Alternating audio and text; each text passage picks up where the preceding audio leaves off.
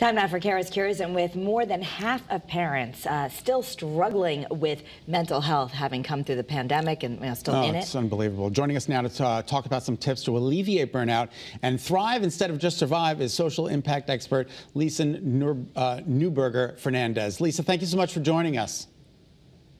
Thank you for having me. Uh, so, what what did the pandemic do to parents? It, it it just exacerbated certain problems, right?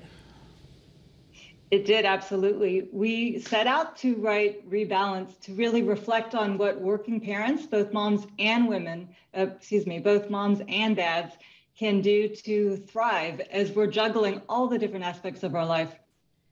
Yeah, and you have some points. You've come. I mean, you've come through this yourself as uh, someone who's helped corporations make changes.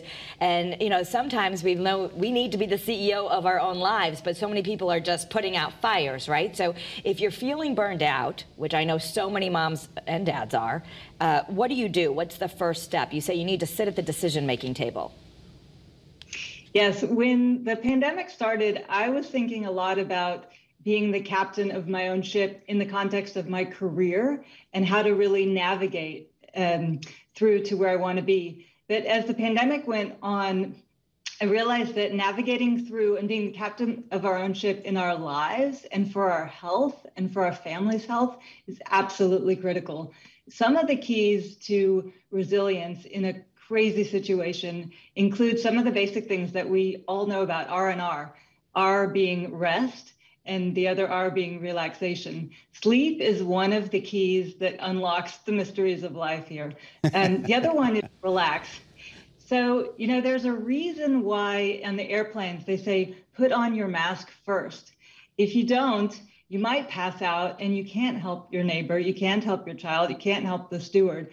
But if you put your mask on first, that's really an invitation to be selfish and sometimes being selfish about your own mental health, your own physical health is the most selfless thing that we can do. So message for parents is to, you know, put your mask on first and do the things that you need to relax, whether that's taking a walk outside, looking at the trees, and mindfulness, deep breathing, whatever it takes. Because if you're there for yourself, you can be there for your family. can you talk to us about the wheel and how, how creative that is and what do we need to do? Yeah, so the wheel is a great exercise. All you need to do the wheel exercise is to take out a piece of paper and a pen and draw a circle.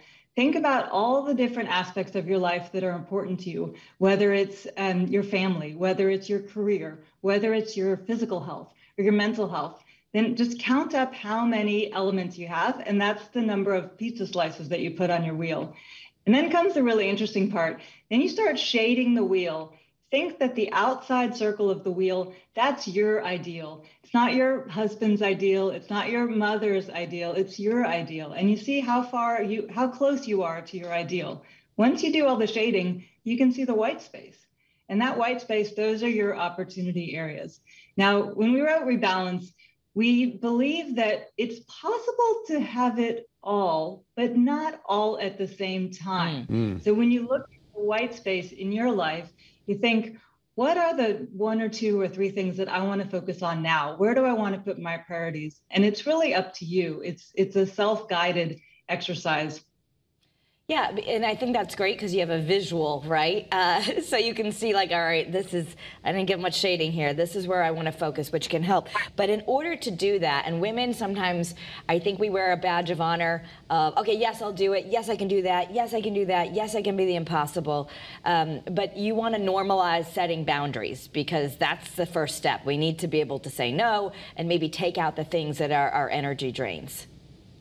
Exactly. Saying no is actually one of the hardest things to do. And I try to find ways to say no without using the word no. I find that sometimes that helps. But being able to set boundaries in your life is one of the things that allows us to survive. Like, for example, when I was um, working a crazy job and I would get all these calls and emails first thing in the morning. And my friend asked me, one of our co-authors, Wendy, asked me, you know, why do you have to check your email before you have your morning coffee, before you do some exercise, you know, before you get going?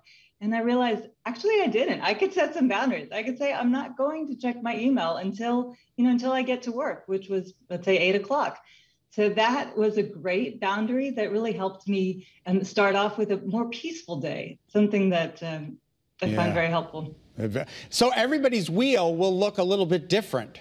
Is that exactly? Okay, just want to make sure. Like yes. Kara's pizza slices aren't the same as my pizza slices. Well, if I cut my, color my family uh, slice, and I'm like, okay, this is where it's good, and you might, you know, color your shopping part of your wheel, exactly. and it's weight, and you need more sleep. Not only will everyone's wheel be different, but your own wheel can be different depending on when you do it. If I wrote my, if I drew my wheel today, I would have a very different view than like two years ago before the pandemic started. And that's the beauty of the wheel. You can do it as many times as you want. And it's about setting your own priorities and spending your time well at the time, you know, at this moment. Um, but it's a dynamic process. So feel free to redo your wheel whenever you're you're looking for that next horizon. Wow. Well, the book is called Rebalance: How Women Lead, Parent, Partner, and Thrive. Uh, it's coming out any day now, May 31st, and we're going to have a deeper dive on Kara's Cures. You can join us on WFSB Plus, our streaming channel, later on, and uh, we'll get a little bit more into the wheel and how we can normalize setting boundaries. So thanks for being with us, Lisa. And remember, you can already pre-order this book, Rebalance, on Amazon. Thank you.